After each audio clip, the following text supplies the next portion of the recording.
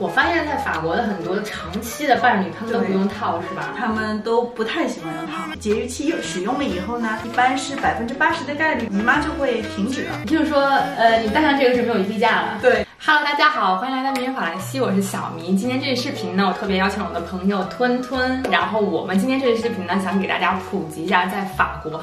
到底是怎么避孕的？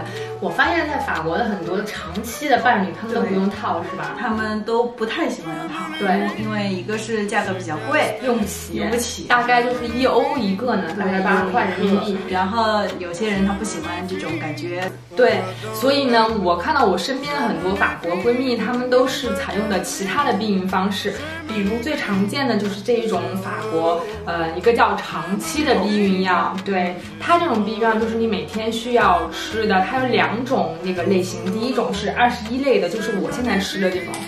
就是你连续吃二十一天，然后隔七天，在这七天当中呢，你的这个大姨妈就会来，然后来完了以后，你再重新口服二十一天，就是这这一把就是一个一个周期。对。然后第二种类型呢，就是二十八粒的这种，但是它这个。性能是一样的，因为它最后七粒它其实是无效的，对，只是让你有一个这个习惯，每天每天来来吃这个避孕药，不要忘记。对，因为这个确实容易就是遗忘遗忘。像我每天就是做闹钟，但是有些时候我还是会忘的。对，所以如果你忘掉的时候，我们就推荐用这种节育环，就是我们叫宫内节育器，来近的看一下，它有点。上头是 T 字形的，然后下面是一根塑料的，有的时候是一个金属导管，然后这个是一个整套的。如果你是要放置这个宫内节育器的话，那么你是需要有一个玻璃的小管子是导到你的一个子宫内，然后再把这个呃呃节育器呢是推到推到你的那个子宫内。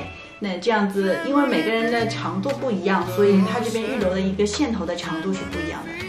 一旦你是把这个放进去了以后，这个线头是留在外体内，但是并不是说体内完全找不到，就是之后五年之后，呃，或者是你想在受孕的时候，你想再拿出来的时候，这个线头再拿出来，再把它就是说机内就再摘就可以再次受孕，对，就可以再次受孕了。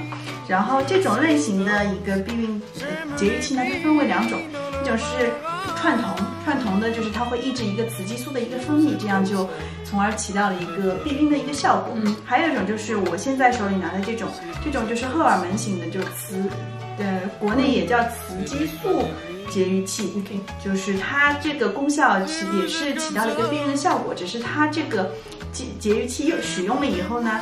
一般是百分之八十的概率，就是你姨妈就会停止了，你例假就不来了。就是说，你就是说，呃，你戴上这个就没有例假了。对，戴上这个就没有例假了。所以，同志们，如果你们不想来例假的话，就建议大家安这种荷尔蒙型的宫内节育器。对，因为它当当然不是说病理性的一个生理期呃停止，嗯，只是它在使用的时候它是呃不产生这个流血的效果。然后，呃，如果你想拿掉，你之后拿掉受孕的话，你的姨姨妈还是会正常的来。嗯，你这个是多少钱啊？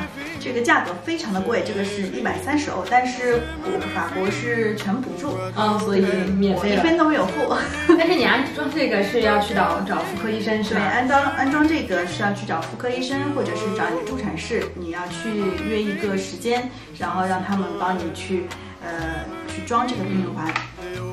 然后我跟给大家推荐这个，呃，长期避孕药，我觉得它的这个好处就是便宜，便宜，便宜，对，我觉得它特别便宜，因为它一盒大概是一板，一盒里面有三板，一板是一个月，也就是一盒是十五欧。但是，一般的这种保险的话，它会报百分之六十五，加上我公司有这种额外的一个对这个保险，所以对我来说也是免费的。如果你们想要去那个服用长期的这个避孕药，你一定要去医生那里呃检查，然后验个血，然后医生会向你推荐适合你的这种避孕药。像我之前也服过一些口服避孕药，但是因为我的体质是不合适，然后呃我就停掉了，对，就选择了这一种。但是我这种我已经服用了两三年，我都没有这个 副作用，所以对我来说还挺好的。对，然后最后在这里提醒大家一下，如果大家就是以后想用这种嗯不带套的这种避孕方式，大家最好就是和伴侣一起去做一些安检。对，艾滋病检查，检查，对，在法国都是免费的。对，在法国各大的这种城市里都有都有，就是你只要嗯戳一个戳一个手指，然后当场就出来。然后你们当时你跟你男朋友做了吗？你跟你老公？我跟我老公没有做，但是我知道我没有。然后他呢？他应该也没有吧？有的话，我现在已经 已经要给自己去买坟墓了。然后我和我男朋友也是，就是在吃这个之前，我们是做了一个艾滋病检查，确保无误以后我们才使用的。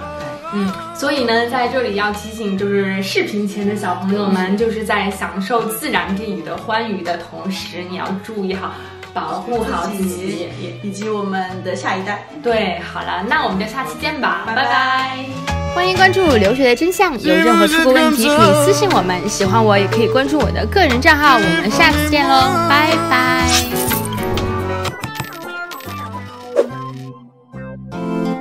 留学的真相，出国必看。